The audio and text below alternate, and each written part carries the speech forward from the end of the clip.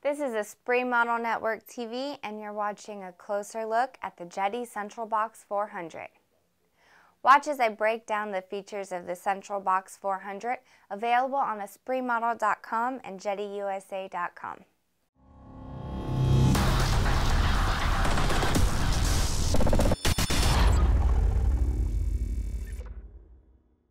First came the Central Box 100.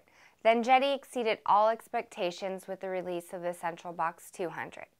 Now, Jeti has taken the Central Box to a whole new level with the release of the Central Box 400.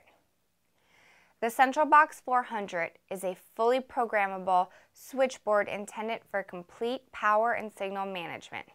It's comprised of a solid aluminum body, 24 outputs, and two independent BECs, or battery eliminating circuits. In addition, the Central Box 400 has a unique design that provides overload protection for each one of the servo outputs. Up to two receivers with serial output, as well as two batteries, can be connected at the same time for complete power and RF signal redundancy, making the CB400 a go-to solution when safety of your aircraft is a necessity. Up to two batteries can be connected to the CB400 via the multiplex connectors. Jeti recommends powering the unit with a three-cell LiPo battery. Together, the battery inputs are rated for up to 30 amps continuous and up to 230 amps burst. During use, the power is actually supplied from the battery with the higher voltage. If the voltage is the same, the power can be used from both batteries at the same time. But if the voltage of the batteries are different, the power is not shared and each pack is actually isolated from each other. This allows you to use batteries of different capacity, of different cells, and of different chemistry type. When you're in the advanced power setting, you can actually independently adjust power input voltages. This way, the battery with the higher voltage can actually be used as a battery backup and you can avoid constant charging and cycling both receiver battery packs.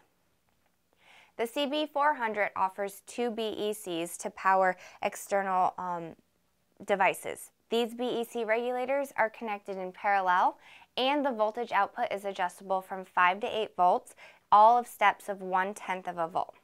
It's important to note, however, that the adjustable voltage of the BEC output is always the same as the voltage supplies to the servos, so be very careful.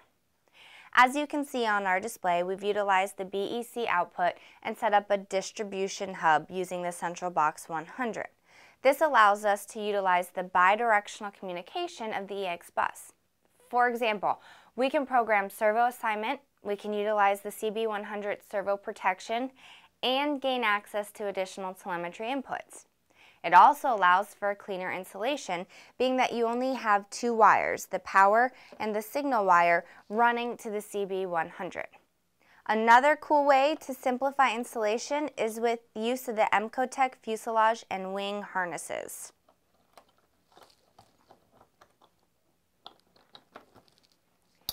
When it comes to telemetry, the CB400 offers four independent telemetry inputs. In addition, it's equipped with 8 megabytes of internal memory for storage of your telemetry data collected from both the central box and all of the connected sensors. The central box itself will provide you with the temperature of the central box, the number of the overloaded outputs, the voltage in, output voltage, and BEC output voltage, battery capacity, and current draw. The data from your telemetry is stored in the log directory and will automatically start when your central box detects a signal and will stop when the unit's switched off. You can use the included USB cable to connect the central box to a computer for reading out your data, or you can use it to update the central box's firmware. You can also conveniently use your Jeti transmitter to view telemetry data and wirelessly configure your telemetry, your servo outputs, your failsafe setting, or your fast servo response. We have our DS16 configured to provide us with a verbal real-time telemetry readout by activation of one of the accelerometers.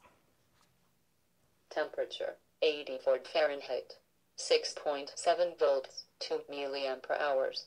11 milliamp hours. The CB400 has a port specifically for the installation of a switch. We offer the Central Box 400 in two options. One option will contain the CB400 and three R3 RSW receivers. This will allow you to set up a wireless switch by connection of one of the R3s in the switch port. The second option will include the CB400 and the new magnetic switch. As you can see here, we've set our display up with the wireless switch. I can easily turn it on and off the central box just with the flip of a switch on a transmitter.